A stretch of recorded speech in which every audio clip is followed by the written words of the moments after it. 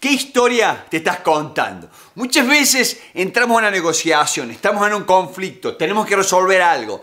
Y lo peor que hay no es lo que está pasando, no es mi contraparte, es la historia, la mentira que te estás diciendo. Cuidado, escúchame, escúchame porque acá hay algo importante, que cuando uno lo ve, uno empieza a aprender, empieza a cambiar. Es muy importante este video, quiero que no solo lo veas, sino que escribas cuáles son las partes que te sentís conectado con este video, pues te va a ayudar a entender que esas mentiras que nos decimos no nos ayudan. Y cuando uno descubre que uno se miente a uno mismo, muchas veces nos ayuda a entender qué es lo que yo veo, ¿no? Eso es lo primero. ¿Qué es lo que yo veo? ¿Qué es lo que yo escucho? Eso es lo que yo tengo que tratar de decir, bueno, eso es lo que yo veo, eso es lo que yo escucho y tomar nota. Porque eso es lo que realmente sucedió. Pero ¿cuál es la historia que yo me contaba? Porque yo me estoy divorciando. ¿Qué es lo que yo veo y sucedió? No nos llevamos bien, bárbaro. Eso es. ¿Qué es lo que yo me cuento? Que me engañó, que hizo esto, que hizo lo otro, que no me deja hablar con los chicos. Esa es la historia que yo me cuento. Entonces después viene otra parte ahí, que es lo que yo siento. Lo que yo siento de lo que yo veo, lo que yo siento de la historia que yo me cuento.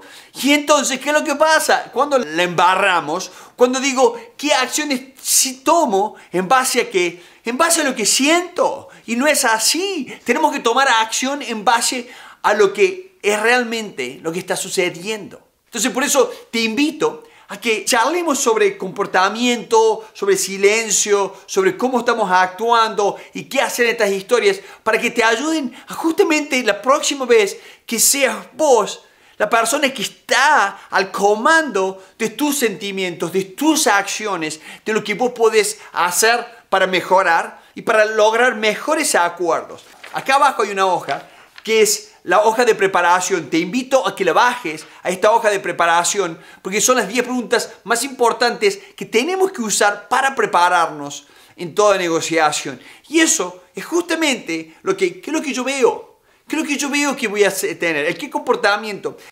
En el comportamiento que yo me veo, lo primero que yo tengo que analizar es, ¿yo me estoy alejando del diálogo? Una muy buena pregunta. ¿Me pongo mal Estoy haciendo buenas preguntas para entender, para comprender, para saber justamente hacia dónde vamos en la resolución del conflicto o qué estoy haciendo, qué me está pasando. Ese comportamiento vos y yo tenemos que estudiarlo, tenemos que analizarlo. ¿Para qué? Para entrar a una negociación en forma fuerte, en forma clara, en forma consistente, con confianza. Eso es lo que yo quiero que vos logres. Entonces, en mi libro, Nunca temas negociar, un libro que lo puedes conseguir en Amazon, acá yo te explico los siete pasos. Siete pasos justamente donde lo que yo veo lo vamos a usar al principio de toda negociación para utilizar empatía y para captar la necesidad y el problema de la contraparte. Pues siempre tenés que ir buscando mirarle las cartas a tu contraparte entender. ¿Por qué yo le digo en mi libro, nunca temas negociar, yo le digo el héroe?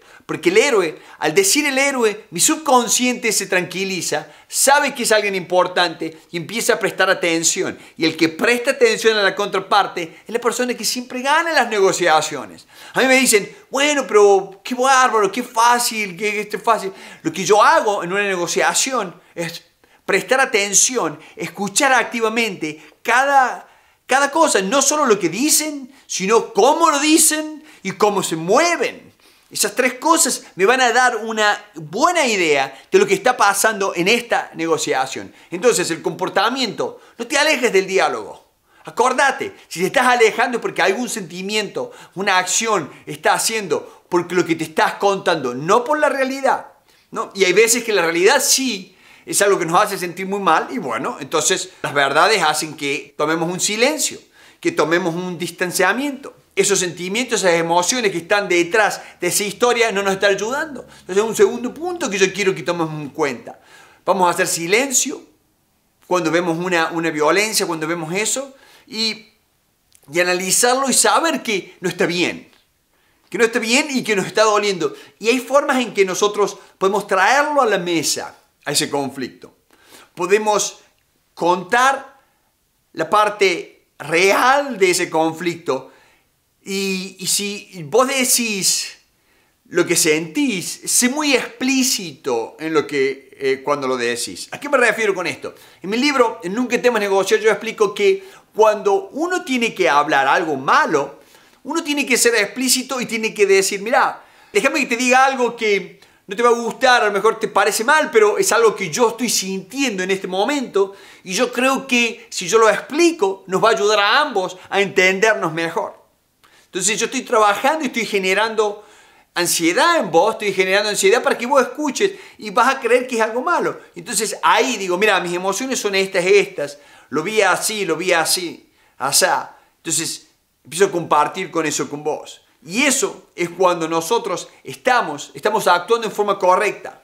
¿Por qué? Porque estamos actuando en forma en que vos vas a adquirir ese conocimiento que me molesta vas a adquirir ese conocimiento que ha estado actuando sobre mí, pero en vez yo de canalizarlo, decir, ah, vos, me querés, vos te quieres hacer el enojado, vas a ver quién está enojado, ¿no? Entonces, eh, es como, en negociación, ah, uno de los grandes conceptos que hay es que, escuche bien esto, ¿no? Es que nunca se apaga fuego con fuego.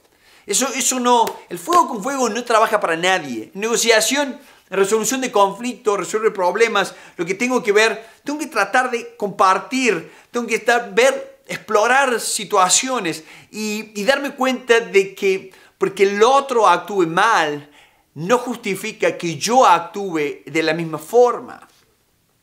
Si bien me puede dar una, una satisfacción momentánea, a largo plazo no te va a ayudar.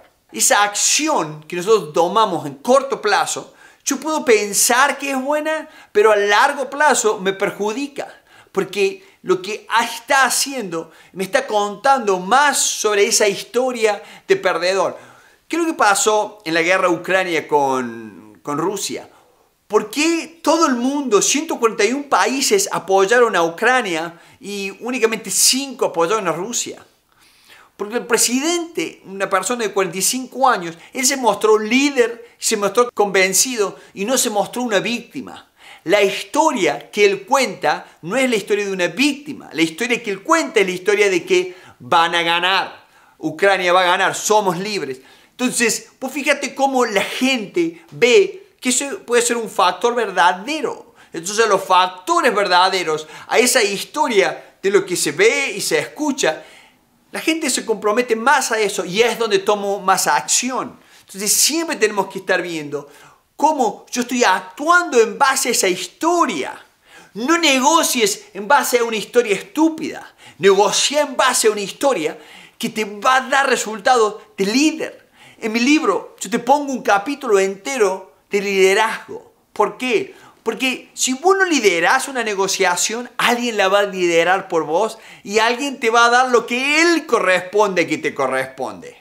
No lo que vos crees que te corresponde. Entonces yo te invito a que trabajes, a que lo veas, al libro, a que lo estudies. Entonces te vas a dar cuenta que nosotros podemos pedir y podemos exigir lo que nos corresponde.